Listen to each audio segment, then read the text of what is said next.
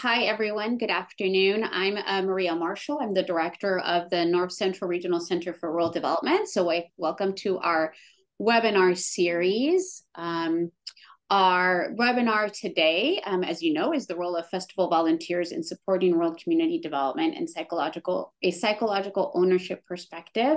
I'm going to um, go ahead and um, introduce our three speakers. But before I do that, um, I'm going to take advantage of promoting and, and, making sure that you're all aware that we do have an NCR Stat um, survey. And that NCR Stat survey and data are publicly available to anyone. They're op- it's open access data.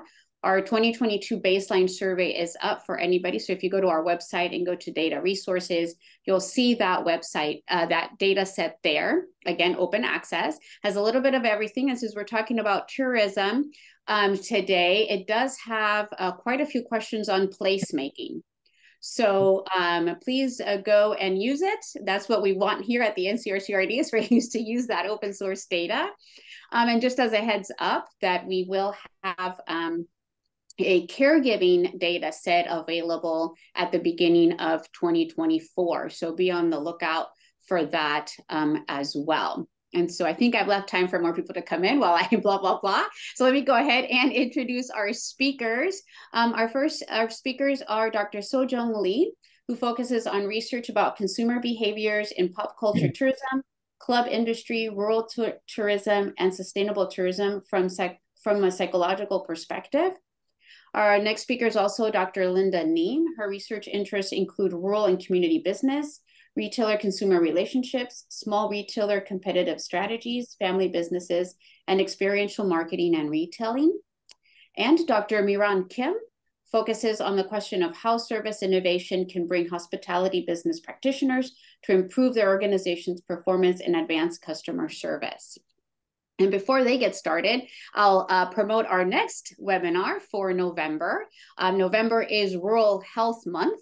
And so um, we're talking about rural health and well-being. So um, I think that's going to be a really interesting webinar as well. well I think all our webinars are interesting, but again, I think really interesting.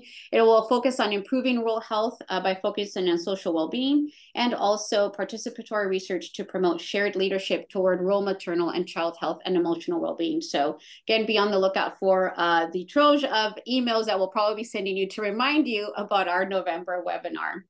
And with that, I will pass it on to our speakers for today. Thank you uh, for your introduction. Uh, good afternoon, everyone. Uh, I would like to thank, first of all, to attend this webinar. Uh, I'm Sojung Lee from Iowa State University, and I'm very pleased to share our study today.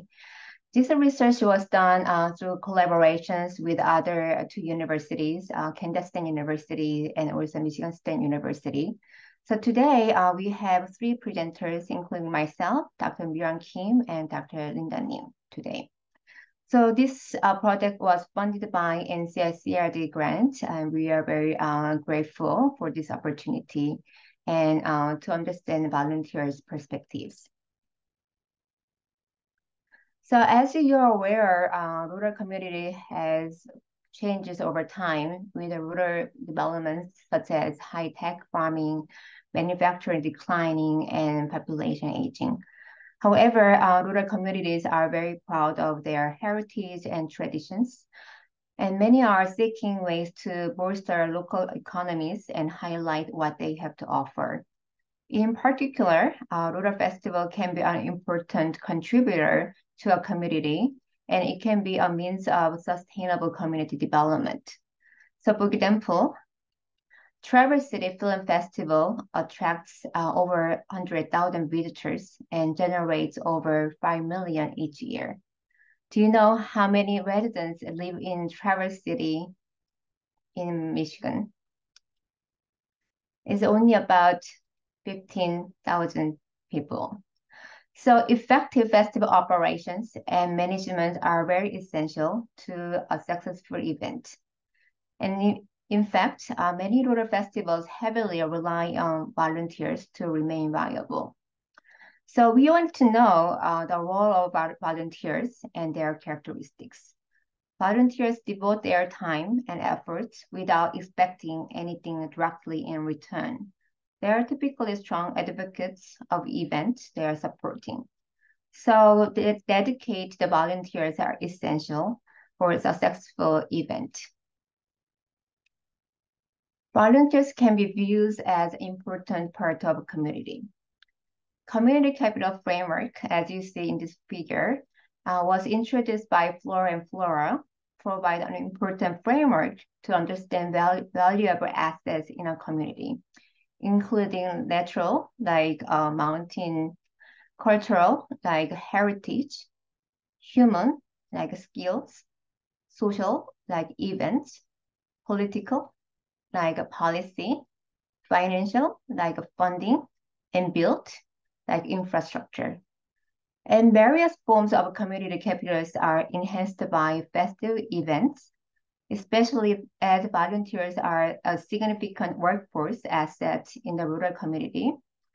Volunteers can be viewed as important human capital for the community. There are, has been a number of studies on volunteers' characteristics. First, um, many studies have looked at the volunteers' motivation, why they are volunteering. And there is a scale developed and called Volunteer Functions Inventory that describe different motivations such as their values, understanding, social, career, protective, and enhancement. Second, a sense of psychological ownership can be an important factor. This concept describes individuals' feelings of ownership from being a part of organizations, such as like my car, my event, I'm the owner of something, I'm so much in it. So this concept has been um, has sub-dimensions such as self-efficacy, say I believe I can do for the event, accountability, say I'll be protecting, belongingness, I'm part of it. And self-identity, like I identify myself as a part of the festival. So this concept has been applied to organizational behaviors in general. So there is opportunity to apply this concept to volunteer research. However, little research has done yet. Community involvement can be an, another important part to understand how volunteers work toward the communities to actively seek out the community values, concerns, and aspirations. Lastly, volunteers support and strengthen the community by giving their time, their efforts, service, goodwill, and word of mouth, and of course, a financial and other in-kind donations of products and services. So putting together all important pieces of volunteers, this study viewed that volunteers' motivation, ownership, and involvement will play a key roles in supporting community development. However, while volunteers play a critical role for festivals in rural, rural areas, rural festivals organizers may have limited knowledge and understanding because they have limited financial resources, insufficient um, organizational structure and staff, and also lack of market research. Also, um, there, there is a little research has paid attention to volunteers' psychological perspectives and characteristics such as psychological ownership. So this study wanted to identify the role of rural festival volunteers on rural community development by investigating the relationships among motivation, psychological ownership, and community involvement and support. And the figure shows our, our proposed model. So we have four uh, specific hypotheses. First, volunteers' motivation will be unimportant for developing psychological ownership of the festival. Second, the volunteers' psychological ownership will influence their community involvement. So we want to see if psychological ownership will be an important mediator between motivation and involvement. And lastly, community involvement will impact the development of community support. So now we are moving to our research methods and findings, and Dr. Miran Kim will provide more information in detail. Okay, thank you, Sojung. Uh, regarding the sample and data collection, we employed a quantitative approach and selected 12 rural festivals in the states of Iowa, Kansas, and Michigan.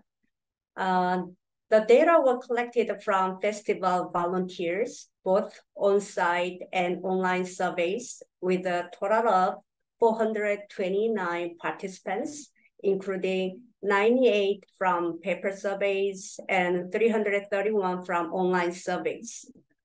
The table shows the number of volunteers who participated in the survey from each festival. Uh, specifically, 263 data were collected from seven different uh, festivals in Iowa uh, state and 133 data from uh, Michigan state and 33 data from Kansas state. After cleansing uh, the incomplete data, 373 cases were used for data analysis.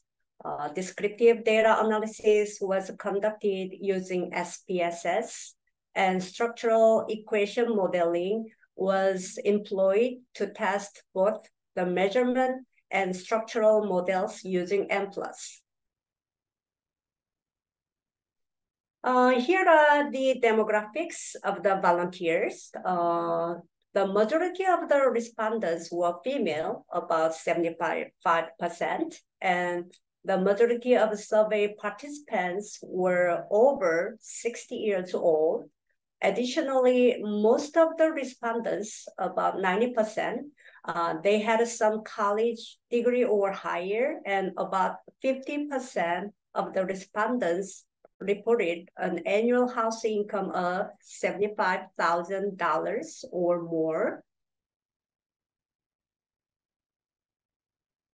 And here are more uh, the volunteer profiles. About 40% of the respondents were employed full-time and another about 40% of them were retired. The majority of the respondents uh, resided in their current state, and most of them, uh, they had lived there for nine years or longer. Uh, additionally, more than 50% of the respondents had uh, volunteered for more than six years. And the majority of the respondents volunteered at the festival for between one and four hours. Okay, here uh, the results of the measurement model are presented. Uh, first, the measurement model shows a good fit, as you can see here, okay? This table also presents the measurement items for values. Uh, the factor loadings were close to 0.0, indicating good convergent validity. And skewness and kurtosis showed uh, that most responses were normally distributed at the univariate level.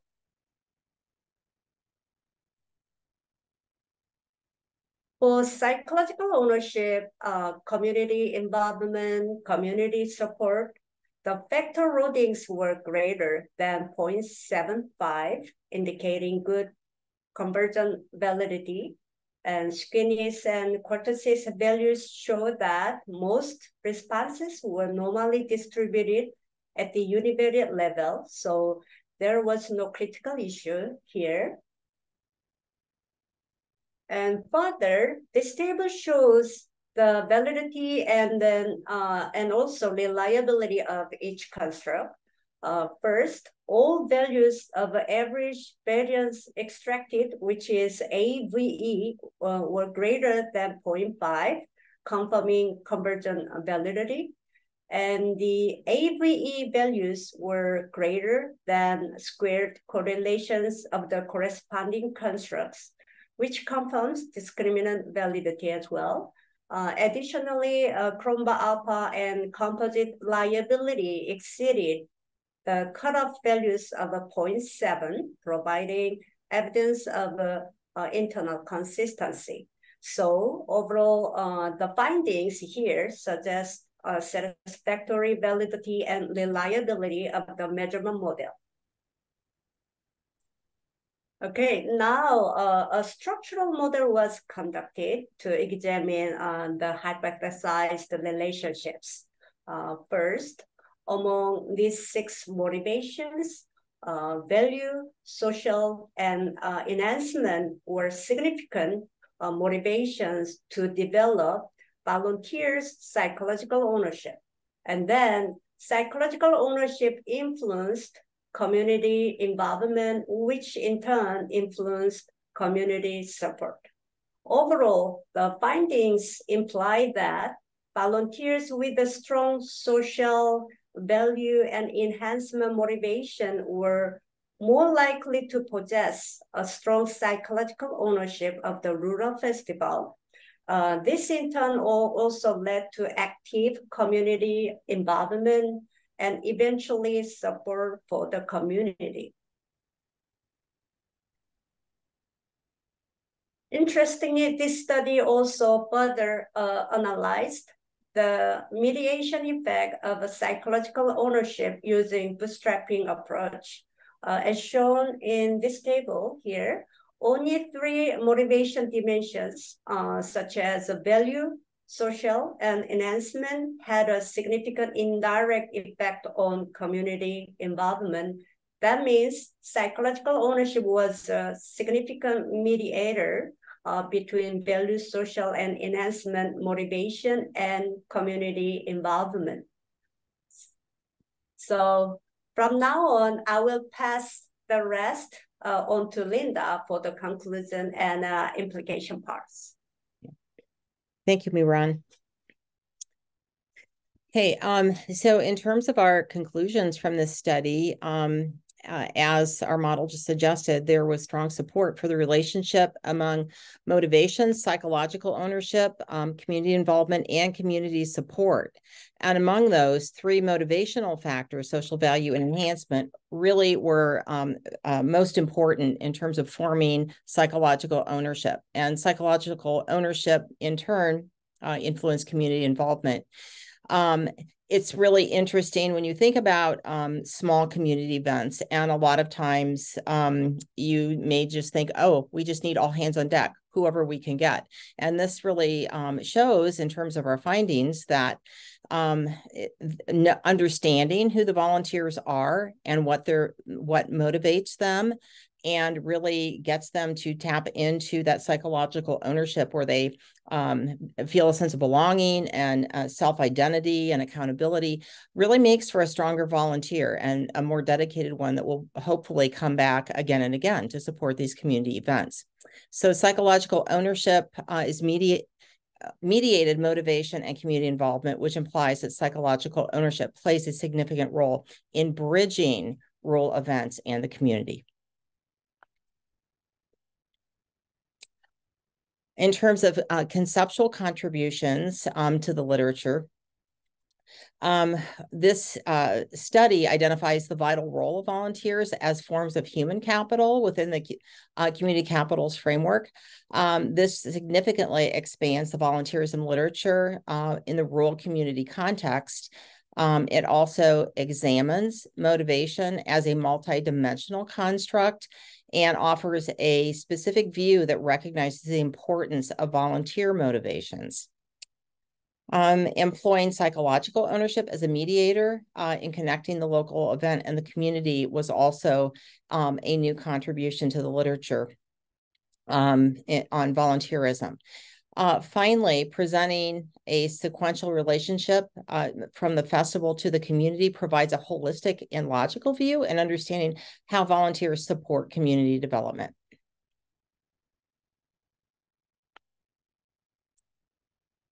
So, eh, from a practical sense, Rural Festival volunteers may serve as um, really important, kind of behind the scenes vehicles for community development. Um, a lot of times we think of uh, maybe federally funded programs or you know other other types of um, built uh, structures, et cetera. But volunteer volunteers and the festivals that they support really uh, can be important vehicles for community development. Uh, the importance of local volunteers' motivation and their sense of psychological ownership in uh, community involvement and support was clearly seen in this study. Um, so we can conclude, if you're a festival planner, that effective volunteer programs that meet the need of motivations, like you tap into the values and importance that volunteers see uh, in the event, um, that uh, they see it as an opportunity to engage socially within the community and form relationships and you know gives them a sense of, of purpose and, and they're contributing. So that's the enhancement and the self-esteem component so those are elements of effective volunteer programs that maybe are sometimes overlooked in the urgency to just recruit numbers. So I think that's a really significant finding. Um, psychological ownership uh, also shows that working closely with community developers can help to connect volunteers to uh, community activities. Um, and in turn, those volunteers will uh, more likely support by further use of their time, giving of their service, um, sharing positive word of mouth to others to get them involved, um, and certainly also providing financial support and other types of in kind donations. Uh, volunteers, therefore, are a really important um, source of human capital. And without them, we would not have a vibrant and sustainable community. They really are, are key in that process.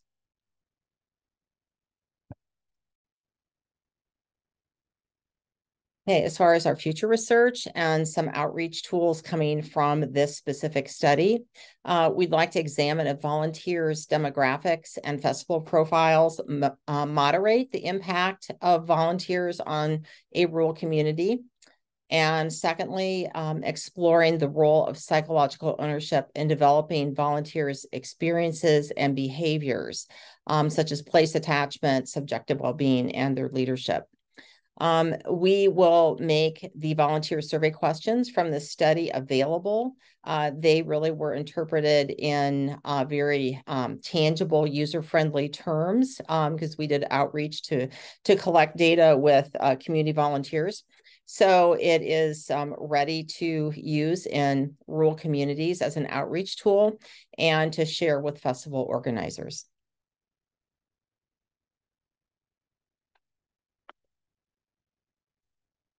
Okay. And thank you. If you have any questions, um, please feel free to reach out to us. You see our emails and um, contact information there. And again, we'd like to acknowledge and thank the North Central Regional Center for Rural Development, NCRCRD, for their funding and support of this research project. Thank you. Um, if you have questions, you can um, put it in the chat um, I will try to read off of that. Or uh, we're not too big of a group. You can also feel free to unmute yourself um, and, and ask a question.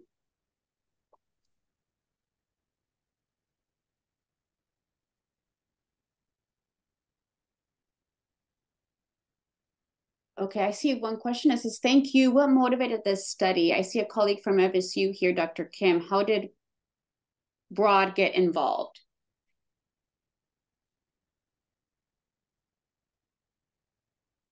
So who is the question directed to, please? Um, it's to any of the three of you, I would say.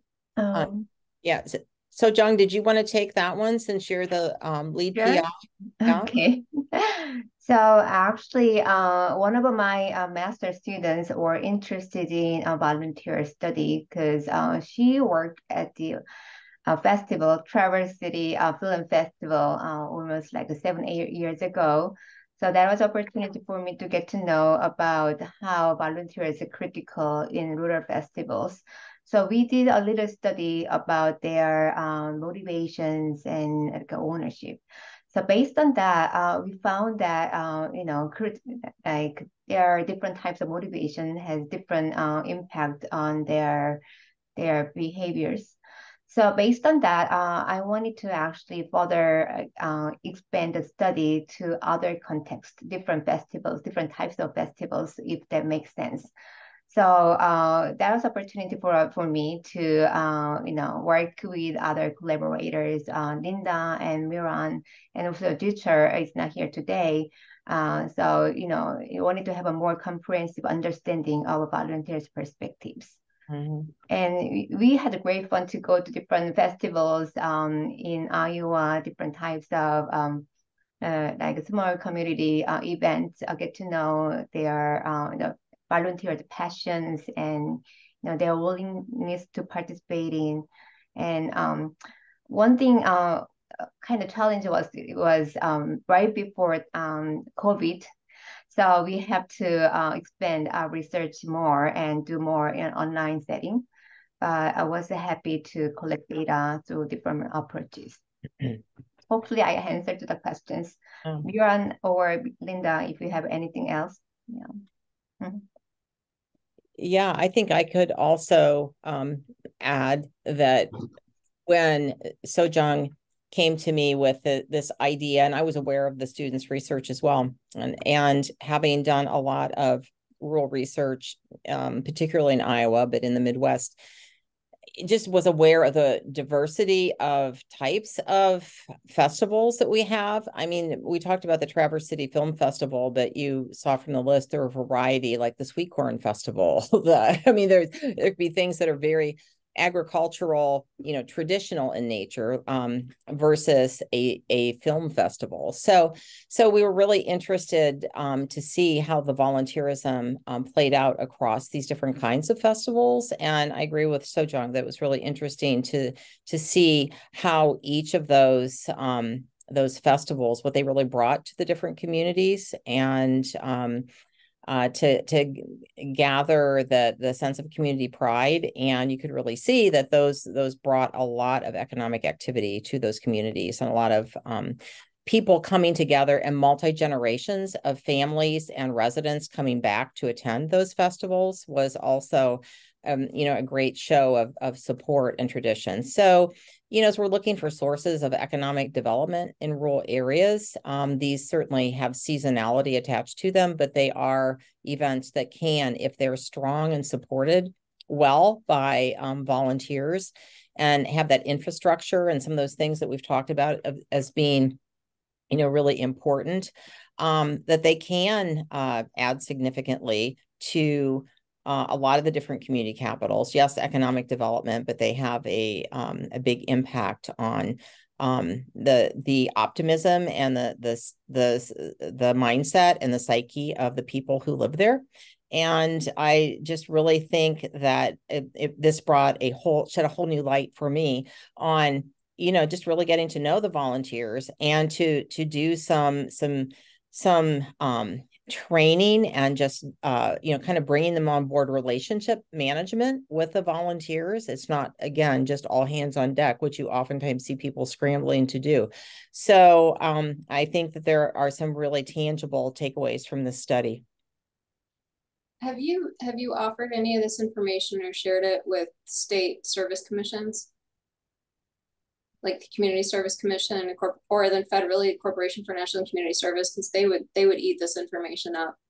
Um, we haven't yet. Um, so this is just really pretty new in terms of um, having these findings, but I don't know that that was an outlet that I had necessarily thought about. So, John, how about you? Yeah, I haven't uh, we haven't reached out to them yet, but definitely we are more than happy to share our findings, uh, whatever yeah. We need our you know findings. So yeah, thank you for that suggestion. That's yeah. a great yeah, one. Two, two things on that. I, I'm curious here. I'm from Michigan State University, the Center for Community and Economic Development, and I see my a colleague from MSU over here, Dr. Kim from the, the Business College. So I'm, I'm just curious as to how how did you get how did MSU's Business College get involved with that? Because one thing I've noticed is, um, particularly from the business side, having been a, a graduate from there, but working on the community side, um, volunteers are not usually the focus point for our, our business friends, but there are they're a huge, huge impact for community development and resiliency. Mm-hmm. So um, I'm really happy that that connection has been made, and I, I would like to hear a little bit about as to how it how this came together further with MSU. Thank you for the question, Mary. Uh, first of all, uh, Sojung is a good friend of mine. So uh, she invited me and then uh, uh, when she asked me uh, to join this research, uh, one of the fascinating fact I realized uh, uh, personally, I like uh, the Cherry Festival in Traverse City in Michigan. I was shocked to know uh, they have only three full-time employees uh, for that festival. That is the one of the uh, largest uh, international festival in Michigan, as I know. But that the festival is run by most of the volunteers. So I was so excited to know about that. And then the economic impact was also huge. So I love the topic, although my main research area is more about consumer behavior, but uh, I really enjoyed about this research. So yeah, that, that was a great opportunity to, to work with uh, Linda, Sojung uh, together. Yeah. Thank you. You may you may definitely want to share this with the state then and the Community Service Commission because if you can quantify or a dollar amount on that, as someone mentioned over here in the chat box, they would um, be really happy to have that information. That's great. Yeah. That actually leads me right to this next question that there are. Somebody was saying, um, did you come up with a value for festival volunteers? A per hour amount would be helpful. I think they're looking for what the in-kind value would be um, for a grant that they're being applied for. So I don't know if you all try to quantify the volunteer time.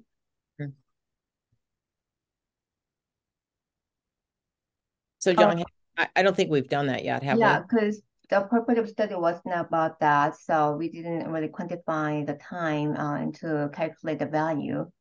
But uh, as we shared, uh, we looked at how many hours they uh, did per day. And uh, most people uh, participate in the events as you volunteers one to four hours. So I would say, you know, half of them you know, volunteers at four hours per day. But uh, we didn't really calculate the value based yeah. on the amount. But we have the hours, so we could easily do yeah. that. Yeah. I know I've seen grant proposals where that's that's a point that, that you bring okay. forward, right? Yeah. So no, that's another really great point. Thank you. Mm-hmm. Yeah. And there is another question in the chat that says, um, was there a population range that you used for your rural festivals? I would think that popu- population of the town surrounding area would impact the age demographics shared.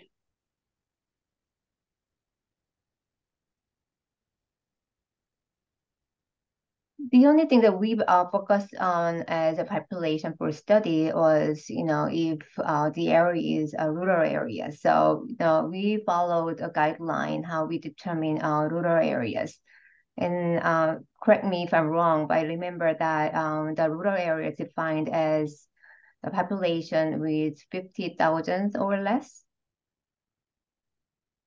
Yeah, and some some of these Mm-hmm. Yeah, some of the rural communities were, I mean, if you look on the rural urban continuum code, I mean, there's variation in terms of how rural and remote they are. So that would no doubt have have an impact, but they all were certainly under that 50,000 and, and many of them way under that 50,000 uh, threshold.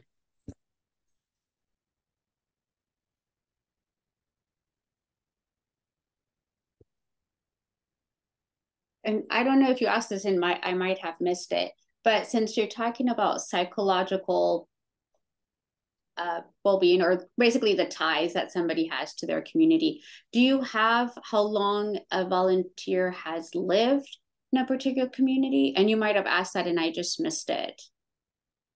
I wondered if that makes a difference if you're a new new resident to to a place versus um, have lived there for a longer time if that that kind of that sense of place would would be different. Yeah i think we have that data don't we Sojung? So we uh, actually ask their residential status whether they're current or past or non-residents um, and about 82% are current residents. And we didn't ask how long they have lived in the area um, but we actually asked how many years they volunteered And I would say uh, over uh, 50% actually volunteers over uh, 60 years. So I assume, yeah, we didn't look at the relationships uh, between the the uh, the time, how long they lived, and their uh, motivations or psychological ownership. But um, definitely, I would assume that that was uh, like correlations uh, between between them. Yeah. yeah. Um, somebody's put in the chat Ohio State University Extension is hosting a conference on December 5th on mental health and substance use stigma to rural communities. Here is the link to learn more and to register. Well, thank you, Kelsey. We appreciate that. so if you're all interested, take a look at the chat and follow the um and actually uh, as i rem reminded everybody november is um, rural health month so perfect to, to kind of register for that uh, grace yes go ahead and unmute yourself Yes, I was wondering if there were any questions related to volunteer fatigue um, in the survey.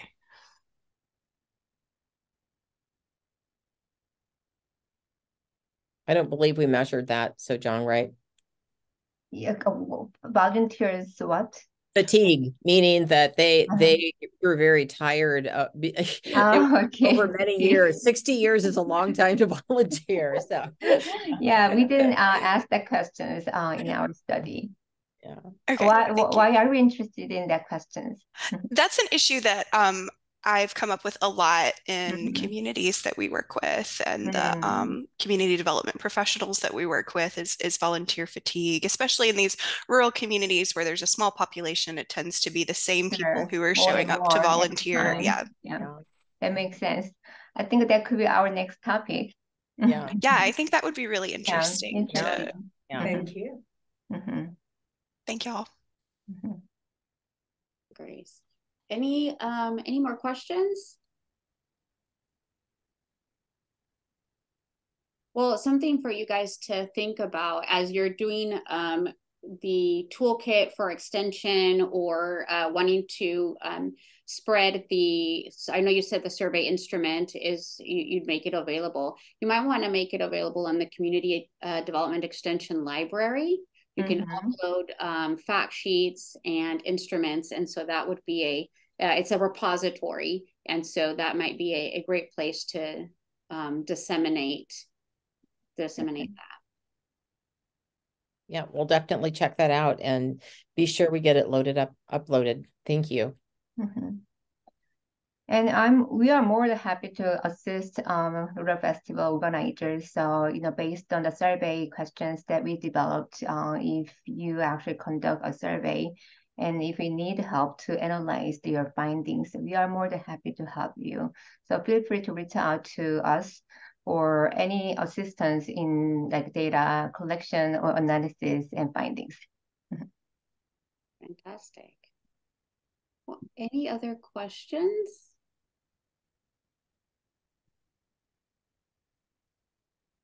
I have to always remember to pause. Actually, people ask a question. Okay, well, uh, just a reminder, um, as Shelly put it in the chat, this webinar is uh, recorded, so please um, feel free to, to go back and look if you need it. It should be in your inbox next week. Um, and a reminder that our next webinar is November 8th um, at 2 p.m. Rural Health and Well-Being. Uh, two, and there'll be two presentations. So I look forward to seeing you in November. Thank you, Sojung, Linda, and Miran for such an interesting webinar uh, we really appreciate. And I hope everybody has a great week.